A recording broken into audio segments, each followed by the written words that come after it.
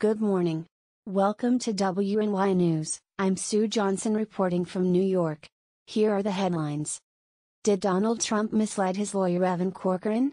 Is the Department of Justice ready to indict Trump for stealing classified documents?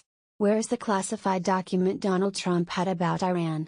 Mike Pence won't be charged for the classified documents they found in his home. We begin with this latest news. The Department of Justice said, it won't be pressing any charges against former Vice President Mike Pence for the classified documents he had at his Indiana home. Josh Edwards has more. The Justice Department recently announced that, it won't be pressing any charges against former Vice President Mike Pence for the classified documents found at his Indiana home. Some classified documents were found by Pence's lawyer at his Indiana mansion and given back to the Department of Justice. The lawyer found four boxes containing copies of administration papers too in which a small number of papers bearing classified markings were found. Two containing courtesy copies of vice presidential papers were also discovered which his lawyer handed over to the National Archives. I'm Josh Edwards for WNY News, Indiana. According to legal experts, Donald Trump misled Evan Corcoran, his lawyer in charge of handling the Mar-a-Lago classified documents case. Three months before FBI agents descended on Donald Trump's Mar-a-Lago estate, federal officials were privately outlining the urgency of a Justice Department investigation into the former president's handling of classified documents to Trump's attorneys, according to a May letter from the National Archives and Records Administration. Jim Coleman has the rest of this report. In a communication, first disclosed by the conservative media outlet Just the News, the acting archivist summarily rejected Trump's efforts to shield documents from scrutiny and notified attorneys that FBI agents would begin reviewing an initial cache of highly sensitive materials recovered from Trump's Florida property in January. The classified documents, Wall wrote, represented more than 700 pages, adding that the papers were marked as classified national security information, up to the level of top secret and including sensitive compartmented information and special access program materials.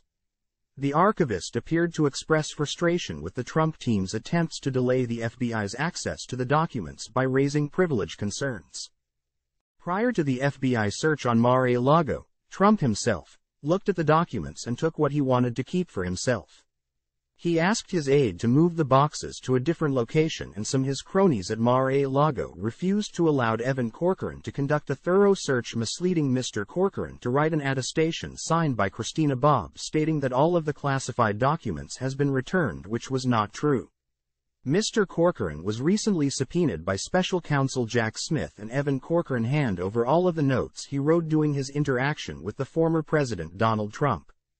Jim Coleman for WNY News in Washington. In a recent development, Donald Trump had a Fox News primetime interview, where he admitted to taking the classified top secret documents from the House White to Mar-a-Lago.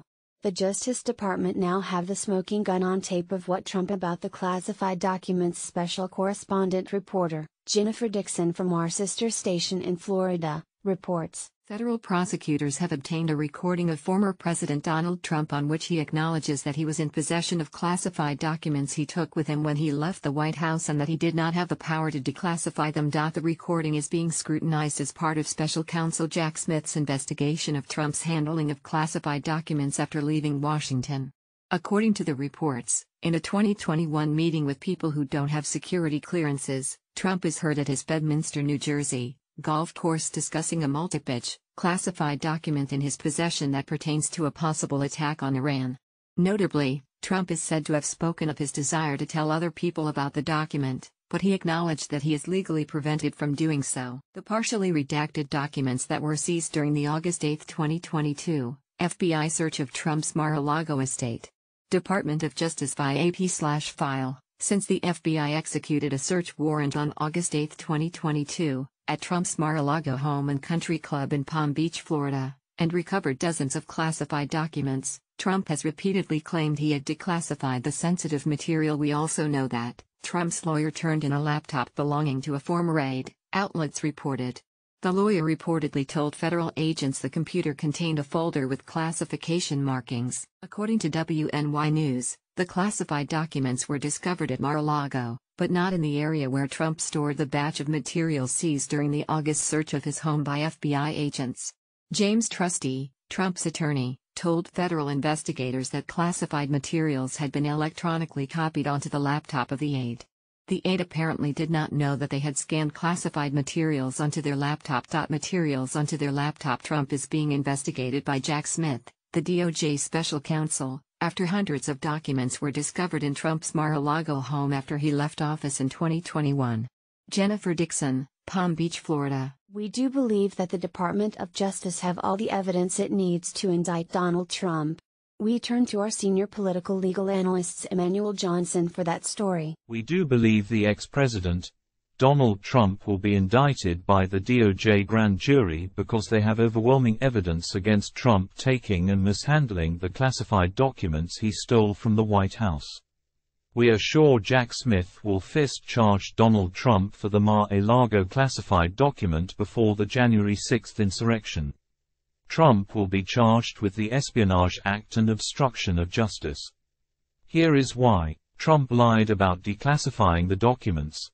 The Espionage Act of 1917 prohibited obtaining information, recording pictures, or copying descriptions of any information relating to the national defense with intent or reason to believe that the information may be used for the injury of the United States or to the advantage of any foreign nation.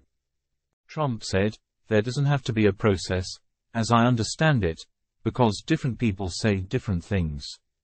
If you're the President of the United States you can declassify just by saying it's declassified.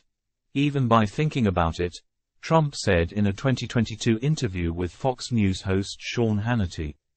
In other words, when I left the White House, they were declassified.